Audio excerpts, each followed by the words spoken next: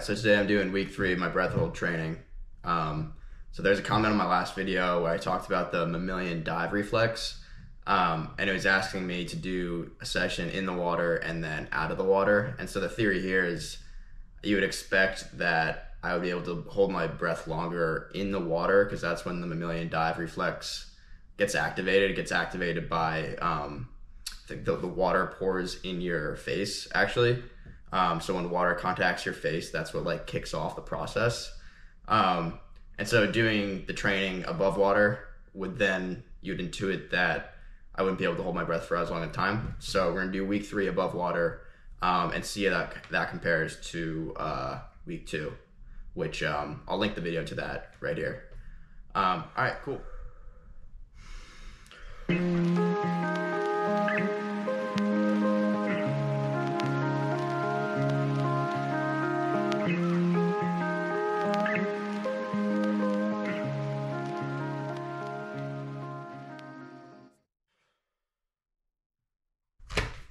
So we're doing two minute intervals here. So if I, I got 45 seconds, I'm gonna rest for a minute 15 and do my next one. Do eight sets of that.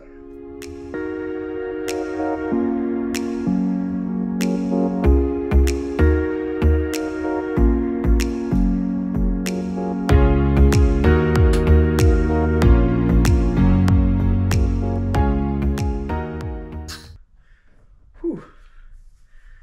That was 52 seconds, so getting a little bit better.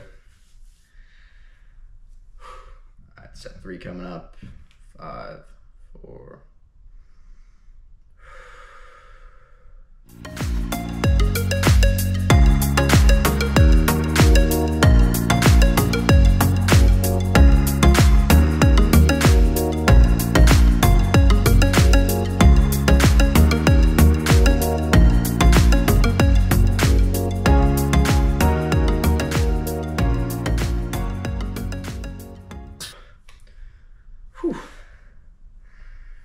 So that's 108. It's getting better and better.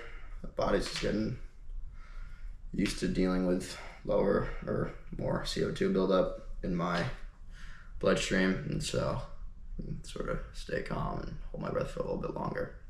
Yeah, it is interesting. It's really just about staying calm because you get, just get these like sort of pushes to let your hand go to breathe, and it's like just remain calm. You're fine.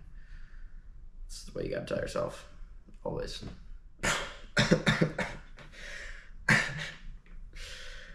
I, was like a minute, man. Yeah, not as good as underwater. It's interesting. Don't feel as calm, and uh, it's just easier to take your hands off your nose than it is to put the weight down and then come up. There's like a greater amount of energy you need to expend in order to like quit essentially when you're underwater. I think that's what that's what it could be. I don't know.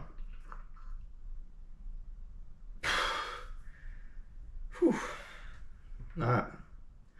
Yeah, those are the eight sets. My best time was like a minute five. Um, definitely didn't feel as relaxed as I did in my last video. Um, I think there definitely is something to being underwater um, and that triggering the mammalian dive reflex and then sort of just calming me down a little bit. Um, I mean, the sample size of the study is n equals one, so not something that's too conclusive uh, in the medical field, but you know, something that I think is kind of cool, um, worth putting out there. Um, so yeah, there you go. CO2 training week three, uh, above ground. I'm gonna be going in the pool for the rest of them because I like doing that uh, a lot better. And um, the whole goal of this thing is to uh, improve my safety in the water. So that's makes sense to be doing it in the water. So I'll be doing that from now on. But I like I like uh, doing this for for an experiment. Cool.